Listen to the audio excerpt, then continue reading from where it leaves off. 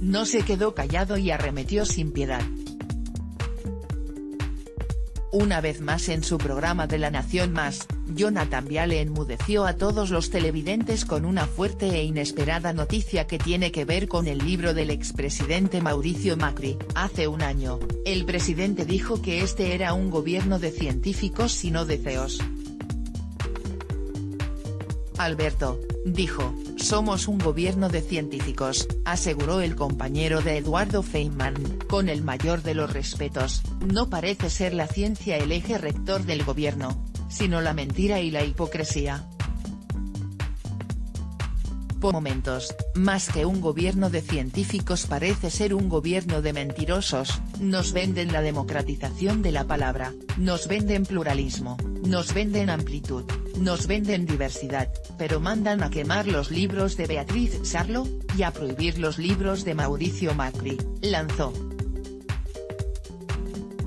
Esto tiene que ver con la determinación de la librería sudestada de graficar un tomatazo en la portada del libro del exmandatario.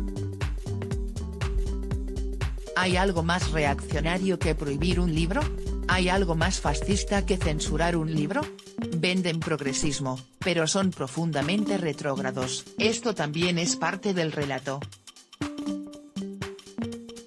hacerte creer que son democráticos, tolerantes, que disfrutan escuchando todas las voces, pero en el fondo el kirchnerismo tiene un espíritu profundamente autoritario. Hay un alma oculta, censora, controladora, vigilante, disparó Jonathan Viale.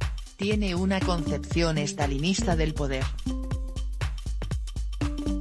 una y otra vez se comportan como una policía del pensamiento, ellos te dicen qué se puede leer y qué no se puede leer, ellos te dicen qué se puede escuchar en radio y qué no se puede escuchar, qué canales mirar y qué canales forman parte del eje del mal.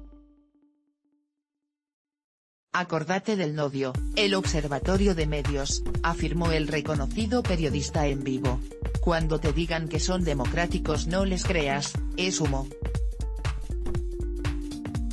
son profundamente autoritarios, no les gusta la disidencia, no les gusta la crítica, le encanta el pensamiento único. Venden pluralidad de voces, pero censuran libros.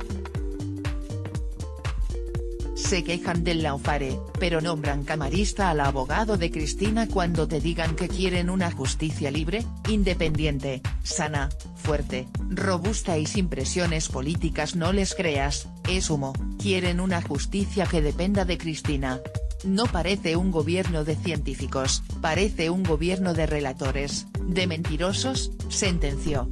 Haz clic para compartir en Facebook, se abre en una ventana nueva haz clic para compartir en Twitter, se abre en una ventana nueva haz clic para compartir en WhatsApp, se abre en una ventana nueva haz clic para compartir en Telegram, se abre en una ventana nueva haz clic para enviar por correo electrónico a un amigo, se abre en una ventana